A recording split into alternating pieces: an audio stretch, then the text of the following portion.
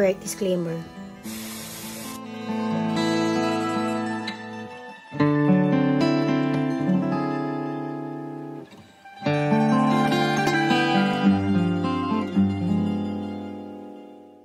It was years ago when a sibling in Mashiach had warned me that she had a dream of me using emoticons in order to flirt with men.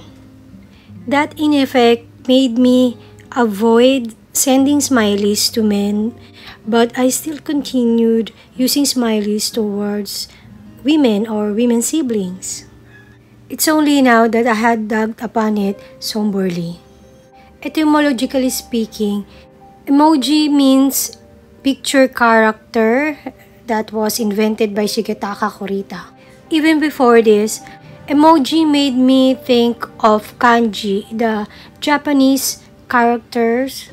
That's something I envied with my twin before when she took the Nihongo class while during my time the teacher failed to include it. But going back to the topic, Shigetaka Kurita, a young engineer at the Japanese phone company NTT Docomo, realized that people were desperate to include feeling and tone in their digital messages. him with Masonic hand symbols, more black and white, and that heart symbol. Japanese pages first allowed people to send each other a heart. When the heart was removed from pages later, sales plummeted. We've established before that the heart is a Babylonian symbol of B A A L. They began life when their inventor noticed a craze for sending heart icons among Japanese teenagers, as well as among businessmen. Before emoji, emoticons had let you express how you felt by using combinations of punctuation marks. Signs and symbols. Let's continue. 39% of communication on a regular day is through technology. We've shut out that rhythm, the sound of the voice. And so emojis is almost a brilliant human way of replacing that. Why would they want to replace voice with emojis? Those who use it, Fisher says, have more sex and go on more dates. That confirms the dream that our sibling Mashiach had. These emojis are just the beginning of what we're going to see in ways of communicating through technology our emotions. So, in these modern times, being able to project feeling and emotion is especially important. And let's be honest, even the harshest truths can be softened by an emoji conditioning us to think and feel that way. Shigetaka Kurita never expected much to happen after he made his emoji set. He later left NTT Docomo, but he knew he had created something huge when he started seeing it on his favorite TV shows. まあ日本の場合はその流行ってるから、えー、と使おうじゃなくて、まあ、使いたい人が、えー使うってことですごくこう、まあ、あの当たり前のものになっていると。 His favorite remains the heart. No wonder. The Museum of Modern Art announced The same museum wherein the witch Marina Abramovich had an exhibit before. Let me take you in a short uh, tour in this vulgar, wicked thing. A bit of caution, it has nudity in it.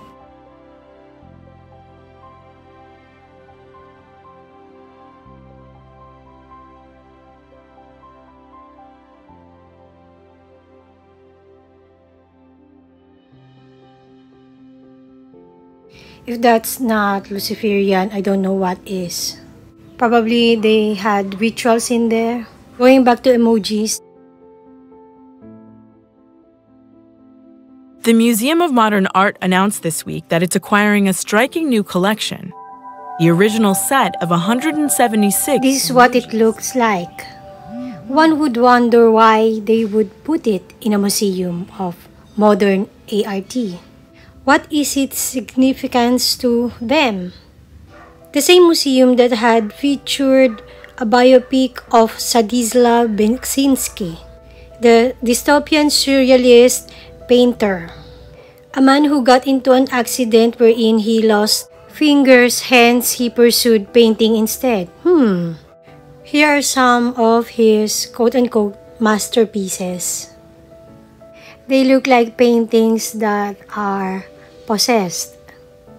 We know that they are, hence They say that the eye is the window to the nefesh, but sometimes the creations can be a window too, if I may say.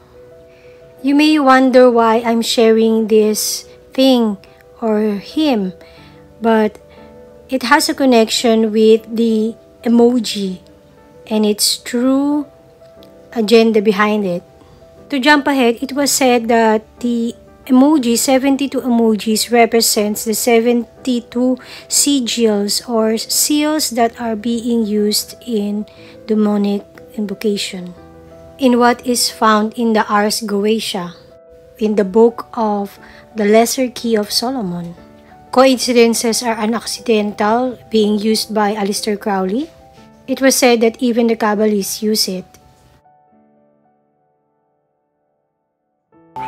One side note here, the actual version of the emojis published by the Unicode is this sigilistic black and white version, which is much closer to the original seals than the cartoonized. Moreover, in Unicode 8, there are 72 face core emojis.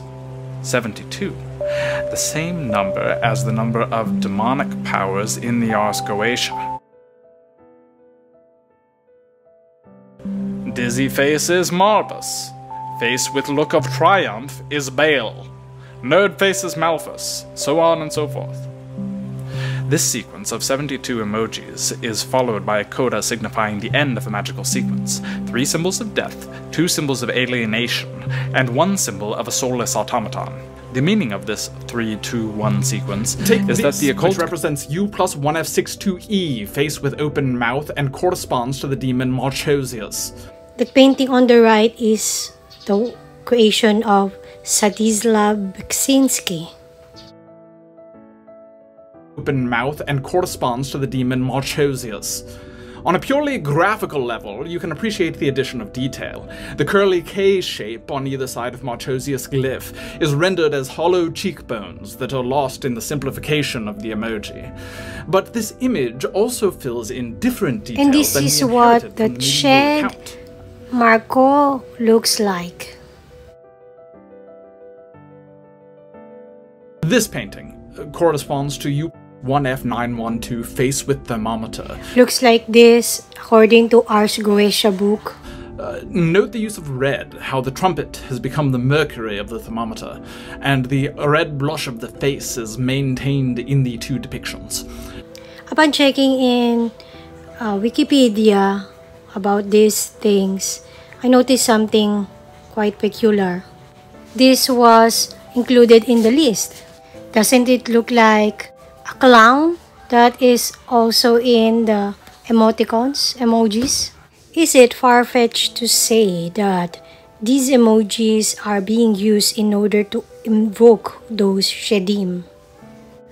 Have nothing to do with the fruitless deeds of darkness, but rather expose them.